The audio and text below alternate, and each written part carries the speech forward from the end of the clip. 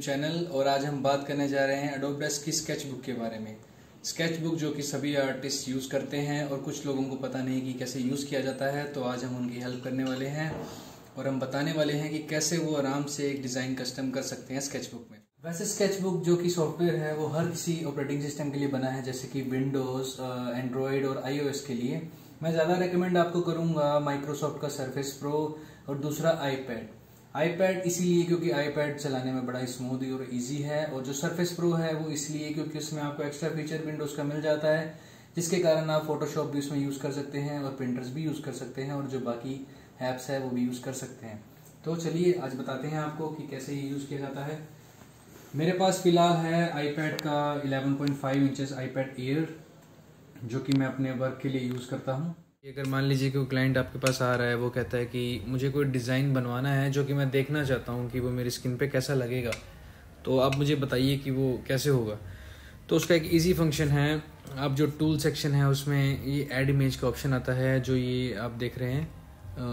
Pick बनी हुई है उस पर प्लस का साइन है। इस पर आप जब क्लिक करेंगे तो ये ऐसे आपकी गैलरी खुल जाएगी। मान लीजिए कि मैंने ये हैंड की पिक क्लाइंट की ली हुई है पहले से, मैं इसको ले लेता हूँ। इसे हम अपने हिसाब से पेज के हिसाब से सेट कर सकते हैं। मुझे ये साइज़ चाहिए। हम इसे डन करें। उससे पहले अगर आप इसे चाहे तो रोटेट कर सकते हैं, इसको फ्लिप कर सकते हैं, इसका प्रोस्पेक्टिव भी चेंज कर सकते हैं, जो कि आपको टूल सेक्शन में दिख रहा होगा।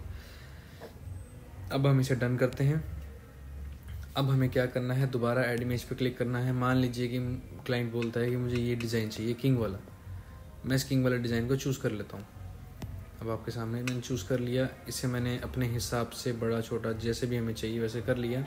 मान लीजिए कि मैंने छोटा कर लिया। डन अब जो लेयर सेक्शन है, वो हमें हेल्प करेगा। अब मैं इस लेयर पर क्लिक करूँगा। राइट मतलब क्लिक किया। इसके बाद इसमें आपको बहुत सारे ऑप्शन दिख रहे होंगे।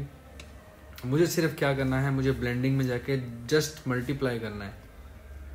मल्टीप्लाई करने के बाद ही कुछ ऐसा आएगा। मतलब आप देख सकते हैं कि जो वाइट बैकग्राउंड है, वो ख़त्म हो चुका है।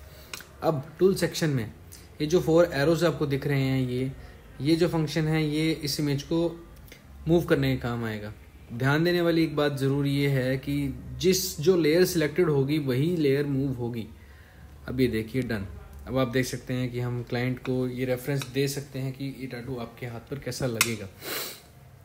तो ठीक है, दोस्तों थैंक यू वीडियो देखने के लिए बहुत बहुत चैनल को सब्सक्राइब और शेयर कर दीजिएगा। ये पार्ट वन था, ये आईपैड का जो स्केच बुक है, ये सॉफ्टवेयर काफ़ी बड़ा है तो इसके ऊपर हम और भी पार्ट्स बनाएँगे। बाकी अगर आपको कुछ क्वेश्चंस क्वारीज या आपको कुछ शिकायत हो, आप कमेंट्स में ज़रूर बता सकते हैं। Thank you